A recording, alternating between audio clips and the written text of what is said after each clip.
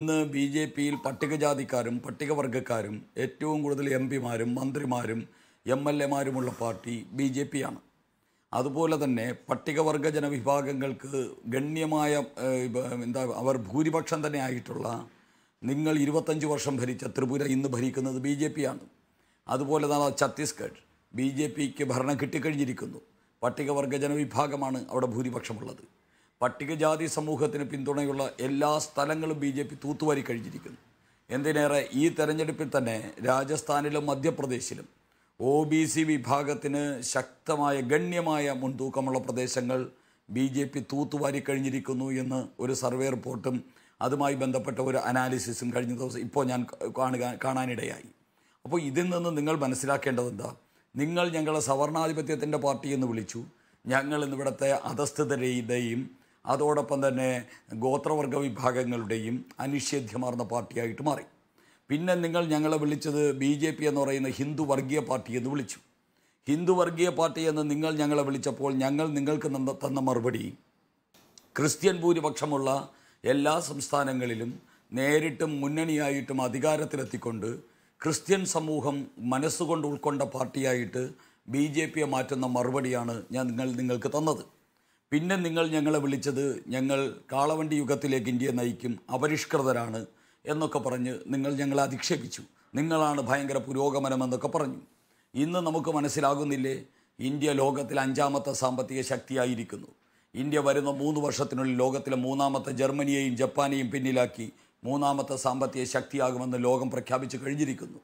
ഈ ഈ അവസ്ഥയിൽ പോലും അമേരിക്കയേക്കാൾ ചൈനയേക്കാളൊക്കെ വലിയ ജി ഡി പി മുന്നേറ്റം ഇന്ത്യ പോലും പ്രതീക്ഷിക്കാത്ത ജി ഡി പി മുന്നേറ്റം ഇന്ത്യയിലുണ്ടായിരിക്കുന്നു. ഇന്ത്യയിലെ തൊഴിലില്ലായ്മ എന്ന് പറയുന്നത് മൂന്ന് പോയിന്റ് നാല് ശതമാനമായിട്ട് ഗണ്യമായി കുറഞ്ഞിരിക്കുന്നു എന്നുള്ള അതും നമ്മൾ നമ്മൾ കാണണം. അപ്പോൾ ഇനി ഞങ്ങളെ അങ്ങനെയും വിളിക്കാൻ പറ്റില്ല. നിങ്ങൾ എങ്ങനെയൊക്കെയാണോ ഞങ്ങളെ ഇന്നലകളിൽ ആക്രമിച്ചിരുന്നത് അതിനൊക്കെ ജനാധിപത്യ രീതിയിലും ഭരണ നൈപുണ്യം കൊണ്ട് ഉത്തരം നൽകിയാണ് ഞങ്ങൾ ജനങ്ങളെ സമീപിക്കുന്നത്. ഇന്ന് ഈ നാട്ടിൽ കഴിഞ്ഞ ദിവസം നരേന്ദ്രമോദി പറഞ്ഞത് നിങ്ങൾ ഓർക്കണം.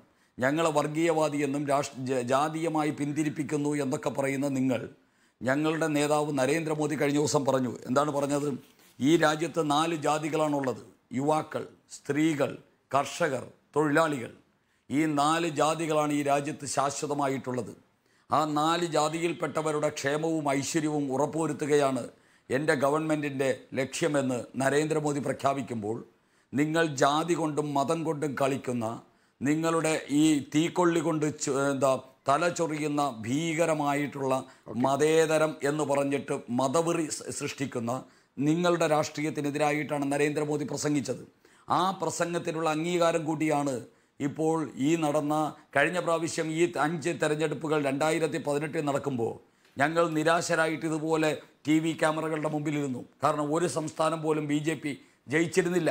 ഇന്ന് രണ്ടായിരത്തി ഇരുപത്തി മൂന്നിൽ ഞങ്ങൾ ഇരിക്കുന്നത് പൂർണ അഭിമാനത്തോടെയാണ്. കാരണം അഞ്ചിൽ നാല് സംസ്ഥാനങ്ങൾ ബി ജെ പി ജയിച്ചിരിക്കുന്നു. തെലുങ്കാന പോലെയുള്ള സംസ്ഥാനത്ത് ഗണ്യമായ മുന്നേറ്റമുണ്ടായി. ഒൻപത് സീറ്റുകൾ വരെ ബി ജെ പി ലഭി ബി ജെ പിക്ക് ലഭിക്കുന്ന സാഹചര്യമുണ്ടായിരിക്കുന്നു. അപ്പോൾ ഇത് ഞങ്ങളുടെ പടിപ്പടിയായി ഞങ്ങൾ ജനങ്ങൾക്ക് ചെയ്ത സേവനം ജാതിക്കും മതത്തിനും ഒക്കെ അതീതരായി ഈ നാട് ഞങ്ങളെ അംഗീകരിച്ചതിന്റെ ഏറ്റവും വലിയ ജനാധിപത്യ രീതിയിലുള്ള ഉത്തരമാണ്. ഇതിന്റെ അർത്ഥം ഞങ്ങൾ പ്രതിപക്ഷത്തെ ഉന്മൂലനം ചെയ്യണം എന്ന് ഞങ്ങളില്ല. കാരണം ഇത് ചൈനയിലെ കമ്മ്യൂണിസ്റ്റ് ഭരണം അല്ലല്ലോ